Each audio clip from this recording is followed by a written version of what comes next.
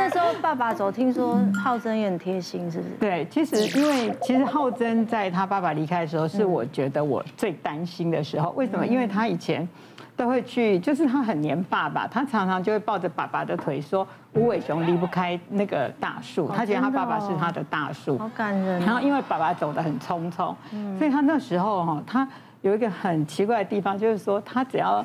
就是他，我我想他是心里难过，但是他不会表达，他就会冲过来抱着我，就不管随时他就冲过来抱着我。然后那时候哈，他就是这个看到爸爸离开，但是他一滴眼泪都掉不出来，嗯，对他一滴眼泪他都掉不出来。然后呢，他就我我只记得那时候就是爸爸就呼吸停止的时候，然后呢。就被盖上那个所谓的那个那个网针被的时候，他就把爸爸的那个网针被拿起来，然后就把脸贴着爸爸。然后呢，我我就觉得那时候我就觉得，哎，我可能要很坚强。对对对。然后，但是事实上，他就是一个很自律，然后他也没有什么那个，就是青春期反叛啊。其实我小姑是心智科的医师，她甚至跟我讲说，哎。那个浩真都没有那个反叛期，他担心他老了以后会反叛，我就跟我小姑说，那也不要担心，等他老了反叛，我们也不知道，无所谓。对对 对，那我知道他那时候其实安全感是没有的，为什么？因为有一次呢，我要去接他的路上，然后呢，哎，我就跟我小姑去家，然后我就跑去上厕所，然后我小姑就她打电话来说，他可能问我说，妈，你到哪里？那我小姑是一个非常客气人，她不会接我的手机，那我就没有接手机。可是等到我再回来看到的时候，我打电话给她，她其实是非常紧张的，所以我就知道她那时候是蛮没有安全感的小孩，就是其实内心的深层对还是很无助，毕竟是个孩子，对，所以他真的一定很想要保护妈妈的。嗯，哦，没有，我只是不要拖他的后腿。这个就很重要。他说不要扯妈妈后腿。对对对，这样子真的就很懂事。我相信他非常非常懂事啊。嗯，我想听听他说这个讲话的内容啦，还有跟妈妈的互动，其实感受的很强烈了。对，就是他非常呵护他妈妈的，对不对？因为爸爸不在，他我觉得他更那个。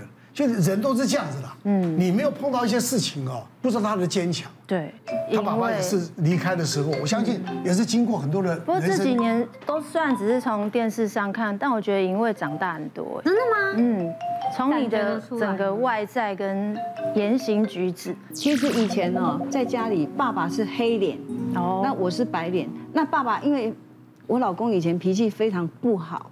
他很容易暴怒，然后就是因为小孩都是我们的副卡嘛，嗯，那有时候那个账单来啦，那爸爸一看说，哈，抢两万贵口，哼，他就要去骂他，然后我就说，老公，你要看一下那个明细，你看弄霸龟口，能霸龟口，都是小小的钱，表示你儿子现在真的很不好过，他现在很穷，他现在是靠这张卡在生活，哎。你是他的靠山呢，你这辈子是他的一座山。你如果现在去骂他，这座山都倒了。你应该现在他不好过，你应该拿铁沙班来洗国班公儿子，你现在不好过，这个钱放在身上。你哦，老婆你怎么懂啊？我说我很小就会了。他说你真的是我的菩萨。从那时候开始，我老公就开始变了。那十几年来，他就变得对我们。对我还有两个小孩都非常好，嗯，账单那个什么账单啊、罚单啊什么，他都偷偷的赶快去缴掉。然后我们家那个狗哦，在外面花园的那个时候，所有的大小便哦，都是他捡。我问我儿子说：“儿子，你有捡过大便吗？”我儿子说：“没有哎。”我说：“我也没有。”我说：“你看，那就是爱，爸爸多爱我们。”所以后来因为他改变了，然后所以那一天有一他生病的时候，有一天晚上半夜我醒来的时候，发现他已经。没有呼吸、心跳，全身冰冷，在床边。然后他跟弟弟两个人就赶快做 CPR，然后我就赶快联络那个一一九。然后来的时候，他要宣布说他死亡，我我怎么能接受说他死亡呢？他说要不要救？我说当然要救啊，所以就马上插管打强心针。后来哎有恢复心跳，当时我们三个人就跑到外面去跪在那边求老天爷一定要救醒他这样子。然后后来就是。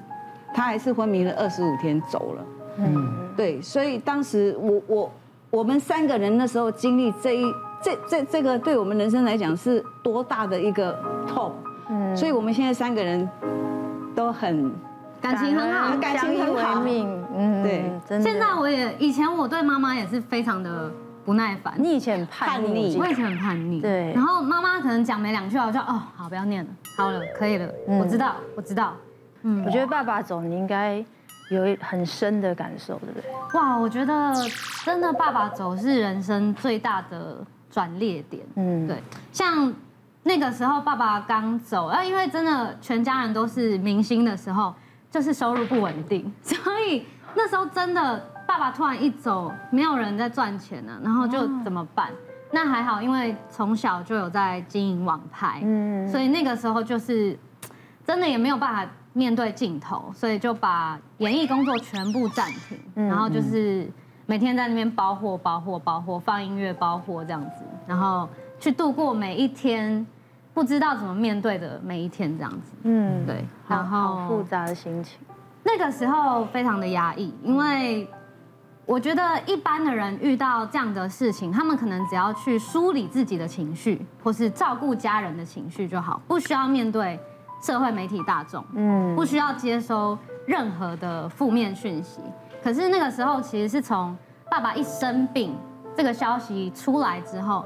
就每天收到两三百封私讯，每天有关心，然后也有谩骂，然后你就是每天都要去面对这些东西，你就觉得天哪，我到底可不可以一个人好好静一静？可不可以放过我？对，然后就连那时候我们在家里烧金纸，也也也每天有 SNG 车在旁边拍啊，嗯然后我就觉得，所以我现在是要躲起来烧还是怎么样？就是怎么做好像都会被骂，就。人家说你在演戏，在作秀，可是你们家人每一个人过世也都是这个经历啊。但我们就好像得要一直抛头露面跟大家说明解释哦，对，爸爸现在怎么样状况什么的。所以其实那时候我觉得我真的生病了，嗯，因为我必须在大家面前表现我很坚强，我很独立，我没事，然后我就是一直往心里压，一直压，一直压，压到最后我其实。到今年开始，我才有一天坐在自己沙发上，我就觉得 I need help，嗯，我需要帮助，嗯，然后我就去看医生了，真的，嗯，我就去开始看心理咨商，嗯，然后就开始从可能从小时候开始一些故事慢慢跟医师聊，然后回想，就觉得哎，其实这一路上就是虽然。身为新二代有新二代的压力，但也有很多幸运，对，是因为新二代，所以其实现在心态已经慢慢调整的，就是非常的感恩，就是一切的经历，然后也感恩这个宇宙，就是发生这样的事情，或许，呃，我的经历可以把它转化成一些故事、一些歌，呃，写一些文字，或许也可以去疗愈到正在经历这些痛苦的人。嗯，这是我现在比较想做的事情，很棒啊！你看，我就说他懂事很多，真的。没有，其实我跟你讲啊，就是不一样的。我我常常跟很多人讲说，我有有一起跟他讲，我说啊，人人生在世啊，从来不要在乎别人的眼光怎么看。嗯嗯，你不是为别人而活。就像我有我在有一些人设，我的人生，人家都讲我哪个脾气不好啦，很难搞啊，什么什么的。嗯，我从来不在乎。为什么？因为我从来我不会，我不负别人，我不会对不起别人，我不去伤害别人。我我这是我的个性，我从来不迟到。我录影我从来不迟到，嗯，对不对？我不看不顺眼我会讲，嗯，哎，但是你如果去在意别人的时候，你会更痛苦，嗯，对不对？你不用去为别人而活，你要让自己活得开心自在。这是我跟我孩子讲的事情。好，人生太太快了，我进演艺圈四十一年了。哇，对不对？所以我就讲说，其实很多的事情，你去看人生，你看看，一下子我快明年领老人卡，我都不敢相信。怎么后台聊的是现在在聊？我讲意思说太快了。对，所以如果你太在意别人的眼光。太在意很多人事物，你会过得不开心，就是这样。哪个讲？重点还是要放在自己身上，要把自己过得好。所以新阳，你看看多幸福。我们现在来个轻松的，好不好？好好。奶哥换你了。是怎么样？别忘了订阅我们的 YouTube 频道，并按下小铃铛，看我们最新的影片。如果想要收看更精彩的内容，记得选旁边的影片哦。